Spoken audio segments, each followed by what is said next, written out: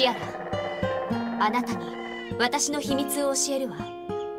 誰にも言わないと誓える。何？何ですの？か神に誓って言わないですわ。これが見える。はいですわ。かっこよくて独特な骸骨のヘアピン。これを身につけていれば幸運が巡ってくるってお姉様は言ってたですわ。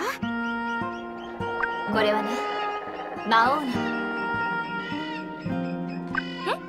の。魔王？素敵なブランドですわ。私も買うですわ。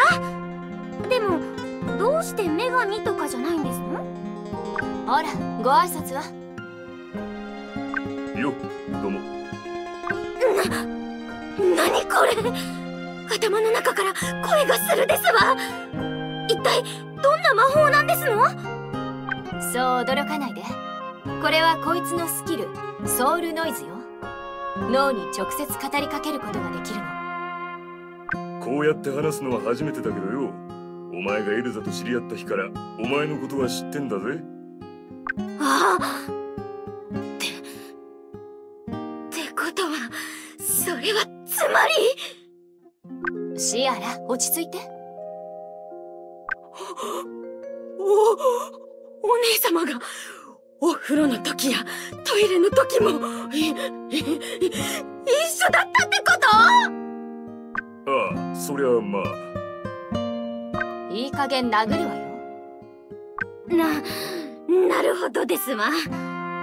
それであなたはどこの魔王なんですの？今じゃ帝国は現存する四大魔王と和平協定を結んでいるはずですわああそれだかな。俺様はお前らの領域には属さないわけつまり異世界ですの？でまそういうわけだ。そういえば今私たちがいる場所は異世界ですわ。それならストップ。話が長くなったわね。続きはまたの機会にしましょう今はもっと大事な用事があるわ。ははいですわ。いやー好奇心いっぱいのギャルってのは可愛いな。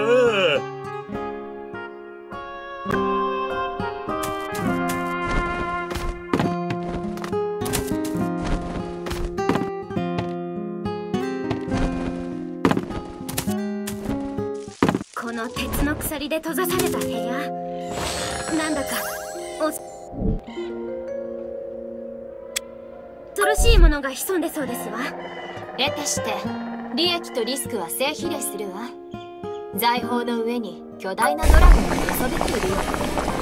俺様は裸のギャルの上に寝そべりたいぜ。それなら私はお姉様のふくよかなお胸に